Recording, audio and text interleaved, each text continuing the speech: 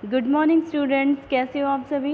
तो चलिए today we are going to discuss a new topic text books गणित शिक्षण की पाठ्य पुस्तकें आप गणित शिक्षण की पाठ्य पुस्तकें भी कह सकते हो, Sanskrit, Hindi physical science biological science किसी में भी हम इसका अध्ययन कर सकते हैं पाठ्य पुस्तकें टेक्स्ट बुक तो हम इसमें सबसे पहले जो डिस्कस करेंगे, वो करेंगे पाठ्य पुस्तक का अर्थ और परिभाषा. दूसरा पाठ्य पुस्तक की आवश्यकता एवं महत्व। थर्ड वन इज़ पाठ्य पुस्तक के लाभ या विशेषताएँ। फिर उसके बाद पाठ्य पुस्तक की हानियाँ। तो चलिए, सबसे पहले हम डिस्कस करते हैं पाठ्य पुस्तक का अर्थ और उसकी परिभाषा। देखो, आप सभी जानते हो कि प्राचीन समय में, प्राचीन समय में क्या होता था? जो हमें ज्ञान प्रदान, जो हम ज्ञान प्रदान करते थे, वो उसका एकमात्र तरीका क्या था? मौखिक। ऑरल। प्राचीन समय में ज्ञान प्रदान करने का एकमात्र तरीका मौखिक था, या गुरु अपने आश्रम में बालक को उपदेश दिया करते थे। लेकिन आज जीवन के प्रत्येक क्षेत्र में ज्ञान का विस्तार हो रहा है। इसलिए किसी भी विषय का क्रमबद्ध तथा नवीन ज्ञान प्राप्त करने के लिए पाठ्य पुस्तक परम आवश्यक है। पाठ्य पुस्तक शिक्षण प्रक्रिया में अध्यापक तथा छात्र दोनों का ही मार्गदर्शन करती हैं। कहा भी गया है कि जैसी पाठ्य पुस्तकें होगी, वैसा ही शिक्षण भी होगा। As the text book is so will be your teaching पाठ्य पुस्तक की सहायता से अध्यापक कक्षा में शिक्षण अधिगम की अनुकूल परिस्थितियाँ अनुकूल परिस्थितियाँ मीन्स टीचिंग लर्निंग कंडीशंस तथा विद्यार्थी के व्यवहारों में अपेक्षित परिवर्तन करने के लिए अपने शिक्षण की समुचित रूपरेखा तैयार कर सकता है।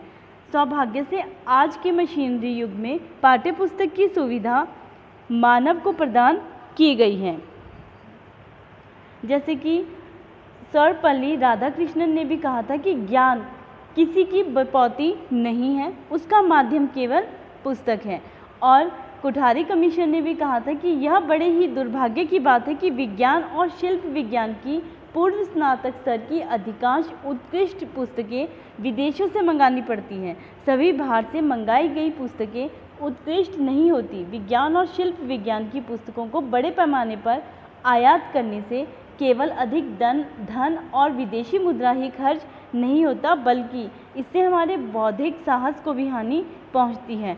उत्तम पुस्तकों की रचना के लिए आवश्यक योग्यता और अन्य साधन तो देश में उपलब्ध है, पर संभवतः जिस चीज़ की कमी है, वह भी दृढ़ संकल्प एवं योजनाबद्ध प्रयास है। According to Kothari commission a large scaling import of textbooks in science and technology is not only expensive, but it is said but also for an intellectual model.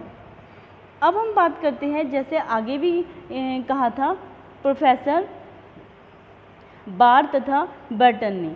उन्होंने कहा था कि संयुक्त राज्य अमेरिका में पाठ्य पुस्तक का एक महत्वपूर्ण शैक्षिक साधन है।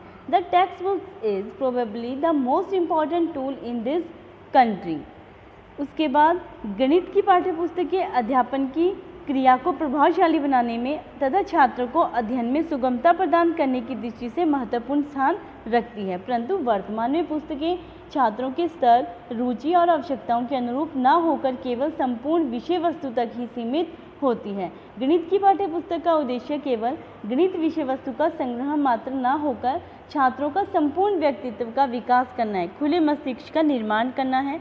आलोचनात्मक अभिवृत्ति का विकास आदि भी होना चाहिए। तो ये तो थे हमारा पाठ्य पुस्तक का अर्थ और परिभाषाएँ। नाउ, अब हम नेक्स्ट पढ़ते हैं पाठ्य पुस्तक की आवश्यकता एवं महत्व। Need and importance of mathematics text book अब हम नंबर टू पाठ्य वस्तु पाठ्य पुस्तक की आवश्यकता एवं महत्व। हमारी शिक्षा प्रणाली के अंतर्गत पाठ्य पुस्तकों का बहुत ही अधिक बहुत अधिक महत्वपूर्ण स्थान है। पाठ्य पुस्तक शिक्षक का महत्वपूर्ण साधन है, जिसके द्वारा वह ज्ञान अर्जन करा सकता है।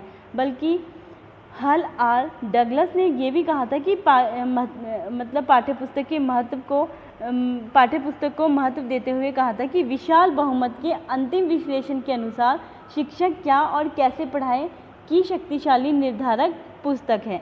In the analysis with great majority the text book is the potent determinant of what and how they will teach. चलिए बात करते हैं शिक्षण में पाठ्य पुस्तक की आवश्यकता और उसके महत्व की। पहला है शिक्षक के मार्गदर्शन हेतु। As a guidance for the teachers यदि गणित की पाठ्य पुस्तक में उत्तम और नवीन अध्यापन विधियों के द्वारा विषय वस्तु का संकलन किया गया है तो उस पाठ्य वस्तु के द्वारा शिक्षक को उचित मार्गदर्शन प्राप्त होता है।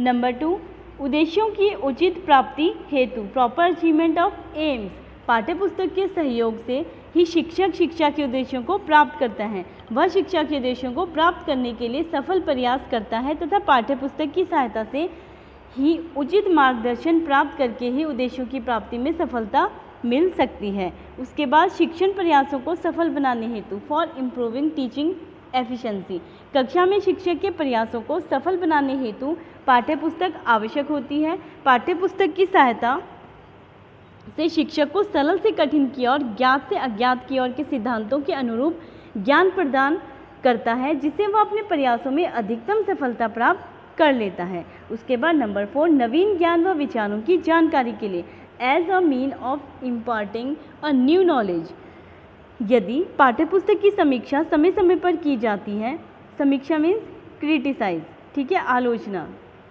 समय समय पर की जाती है तो गणित शिक्षा में नवीन विचारों तथा विष्कारों की जानकारी पाठ्यपुस्तकों द्वारा अच्छी तरह से प्राप्त हो सकती है। नौ, नंबर फाइव शिक्षण सहायक सामग्री के रूप में एज अ टीचिंग एड अध्यापक को जिस प्रकार अपने शिक्षण कार्य में अन्य प्रभावी शिक्षण सामग्री की आवश्यकता पड़ती है, उसी प्रकार अच्छे उदाहरणों तथा अच्छे अभ्यासरत प्रश्नों के संग्रह के लिए पाठ्य पुस्तकों की आवश्यकता होती है। उसके बाद स्वाध्याय में सहायक हेल्पफुल फॉर सेल्फ स्टडी विद्यार्थियों को अपने खाली समय में घर पर ही स्वयं ही समस्याओं को हल करने की में पाठ्य पुस्तक की आवश्यकता पड़ती है। इसकी सहायता से छात्र अपने ज्ञान को अधिक स्पष्ट एवं विस्तृत कर सकते हैं। स्वाध्याय की सहायता से छात्र अपनी दैनिक समस्याओं को गणित के उपयोग द्वारा हल कर सकते हैं। उसके बाद है विषय वस्तु की समीक्षा करने के लिए। Fraud the critical appraisal of content गणित में गणित में प्राप्त ज्ञान की जाँच स्वयं आवश्यकता अनुसार दोहराकर कर सकते हैं। इस प्रकार पुस्तक के द्वारा छात्र स्वयं दोहराकर अपने ज्ञान की समीक्षा कर सकते हैं। उसके बाद है नंबर एट, अभ्यास हेतु फॉर प्रैक्टिस पाठ्य पुस्तक की सहायता से विद्यार्थी विभिन्न सूत्रों, सिद्धांतों आदि के ज्ञान को पुनः घर पर दोहरा सकते हैं तथा अपने द्वारा, अर्जित ज्ञान की जाँच स्वयं अभ्यास द्वारा कर सकते हैं। इस प्रकार पाठ्य पुस्तक द्वारा छात्रों को अभ्यास द्वारा सीखने का अवसर मिलता है। इस प्रकार हम कह सकते हैं कि गणित शिक्षण में शिक्षक और शिक्षार्थी दोनों के लिए पाठ्य पुस्तक अति आवश्यक एवं महत्वपूर्ण है। इसकी सहायता से छात्र अपनी क्षमता, योग्यता व रुचि के अनुसार सीख सकते हैं। अतः अपने शिक्षक की गति के अनुसार सीखने के लिए बाध्य नहीं होना पड़ता, परंतु फिर भी पाठ्यपुस्तक शिक्षक का स्थान नहीं ले सकती। केवल शिक्षक के कार्य को अधिक उपयोगी व सरल बना सकती है। गणित शिक्षण में पाठ्यपुस्तक का उपयोग शिक्षण सामग्री के रूप में छात्र व शिक्षकों के मार्गदर्शन हेतु होता है। छात्रों को अभ्यास कार्य हेतु प्रश्न तथा समस्याएँ एक स्थान पर संकलित मिल जाती हैं, जिससे कि छात्रों में स्वाध्याय की आदत का विकास हो जाता है।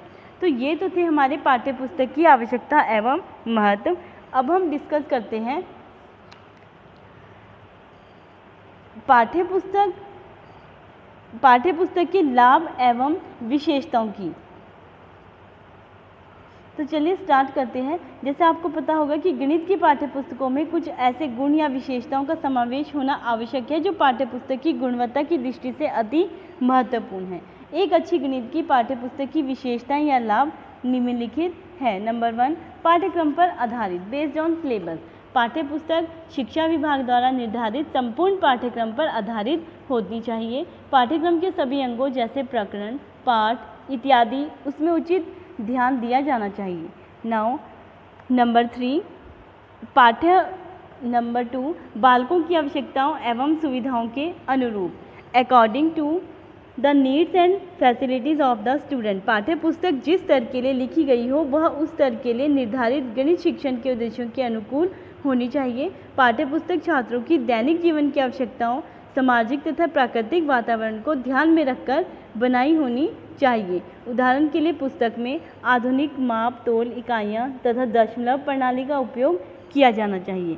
उसके बाद है लेखक, ऑथर वर्तमान में कॉलेजों के प्राध्यापक एवं अन्य व्यक्ति सस्ती लोकप्रियता प्राप्त करने हेतु पुस्तकें लिखते हैं, जबकि केवल योग्य व अनुभवी लेखकों द्वारा ही पुस्तकें लिखी जानी चाहिए। एनसीईआरटी के अनुसार अधिकारियों को चाहिए कि वे लेखकों के लिए उचित अनुभव तथा योग्यताएँ निर्धारित करें। उसके बाद नेक्स्ट है प्रकरणों का उचित क्रम प्रॉपर सिक्वेंसिंग ऑफ़ टॉपिक्स पाठ्य पुस्तक में विषय सामग्री की व्यवस्था, मनोवैज्ञानिक तथा तार्किक क्रम के अनुरूप होनी चाहिए। विभिन्न प्रकरणों को सरल से कठिन की ओर, ज्ञात से अज्ञात की ओर सिद्धांतों का परिपालन करते हुए क्रमबद्ध होना चाहिए। उसके बाद भाषा शैली लैंग्वेज स्टाइल उत्तम पाठ्य पुस्तक में भाषा छात्रों की आयु मानसिक स्तर के अनुकूल होनी चाहिए। प्राय यह देखा जाता है कि निम्न कक्षाओं की पाठ्य पुस्तकों में कठिन और भाषा का, कठिन भाषा का प्रयोग किया जाता है, जो पूर्णतया अनुचित है, क्योंकि छात्र अपने मनोकूल मनोकूल भाषा को ना पाकर अध्ययन में अरुचि प्रकट करते हैं तथा उनकी उपलब्धि प्रभावित होती है। अनेक बार प्रश्नों व उदाहरणों की भाषा इतनी कठिन व स्पष्ट होती है कि उन्हें छात्र समझ ही नहीं पाते हैं। उसके बाद नेक्स्ट है हमारा उत्तम एवं नवीन विधियों का समावेश।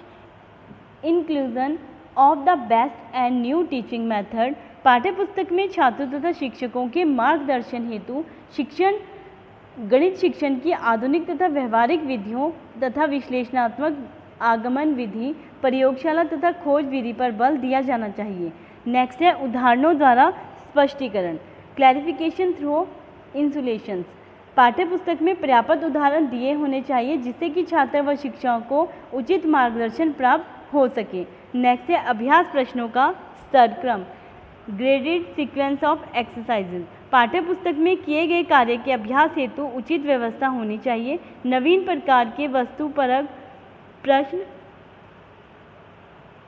पाठ के अंत में दिए जाने चाहिए। ये प्रश्न छात्रों की योग्यता अनुसार मानसिक मानसिक स्तर के अनुसार तथा क्रमिक रूप में होने चाहिए। प्रश्नों को तीन वर्गों में विभाजित किया जाना चाहिए। पहले वर्ग में प्रश्न ऐसे हो जिन्हें कक्षा के सभी छात्र हल कर सकें। जिससे कि छात्रों में आत्मविश्वास की जागृति होगी, रुचि बढ़ेगी। दूसरे वर्ग के प्रश्न ऐसे हो जिन्हें औसत स्तर के सभी विद्यार्थी कर सके। तीसरे वर्ग में वे प्रश्न हो जिन्हें केवल कुछ प्रतिभावान छात्र ही हल कर सके।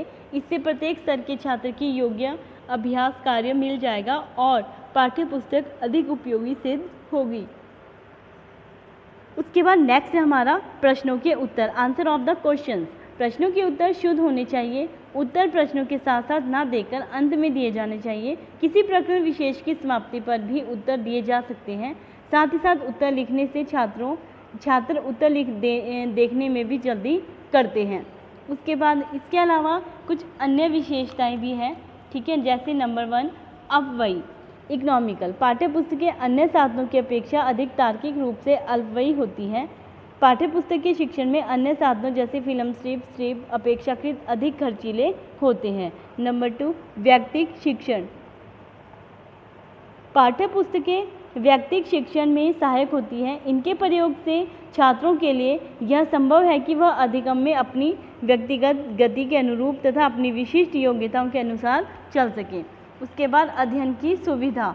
पाठ्य पुस्तकों की एक समय में विभिन्न चीज़ों के अध्ययन की सुविधा छात्रों को प्रदान करती है।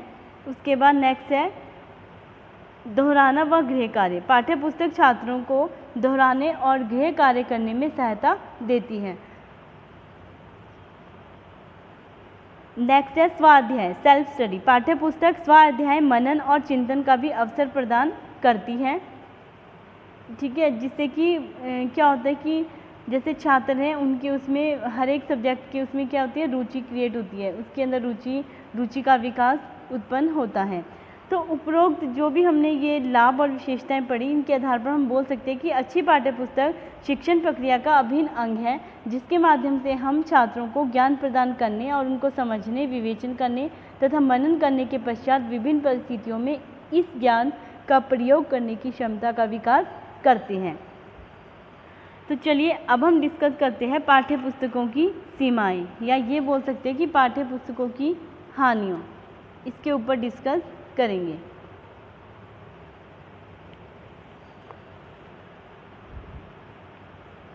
चलिए नंबर वन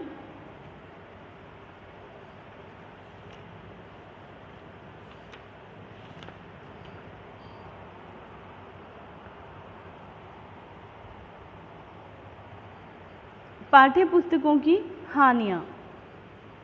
पाठ्य पुस्तक के प्रयोग से जो हानियाँ होती है, वो है नंबर वन पुस्तक सहायक सामग्री है, अध्यापक की दासी और स्वामिनी नहीं। मतलब टेक्स्ट बुक्स में भी considered as the best servant but should not be suppose as a master number two नवीन परिवर्तन व खोजों के संदर्भ में पाठ्य पुस्तकें मौन रहती है। नंबर थ्री, शिक्षण प्रक्रिया सीमित हो जाती है। अध्यापक पाठ्य पाठ्य पुस्तक में निहित सामग्री के अतिरिक्त कुछ नहीं बताना चाहता। नेक्स्ट है पाठ्य पुस्तक का मूल्य अधिक रखा जाता है, जो कि सामान्य विद्यार्थी की पहुँच से बाहर होता है। उसके बाद पाठ्य पुस्तक में उचित चित्र रेखा चित्र आंकड़े, ग्राफ इत्यादि का भी सर्वाधिक अभाव रहता है। उसके बाद नेक्स्ट है एक बार लिखी हुई पाठ्य पुस्तक दोबारा मुश्किल से ही संशोधित हो पाती है।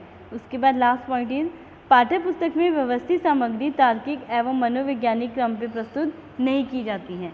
उसके बाद एक और पॉइंट है, पुरानी पढ़ना बिकमिंग एब्सोल्यूट पाठ्य पुस्तकें बहुत जल्दी ही पुरानी पड़ जाती है। विज्ञान के क्षेत्र में हुई नवीनतम उपलब्धियों का इसमें तुरंत ही समावेश नहीं हो पाता है। उसके बाद था विस्तृत व गहन अध्ययन हेतु प्रोत्साहन नहीं। No encouragement for the wide and deep study पाठ्य पुस्तकें क्योंकि सीमित पाठ्य वस्तु तक ही केंद्रित रहती हैं। इस कारण यह विस्तृत गहन अध्ययन के, को बहुत कम प्रोत्साहित करती हैं। धन्यवाद।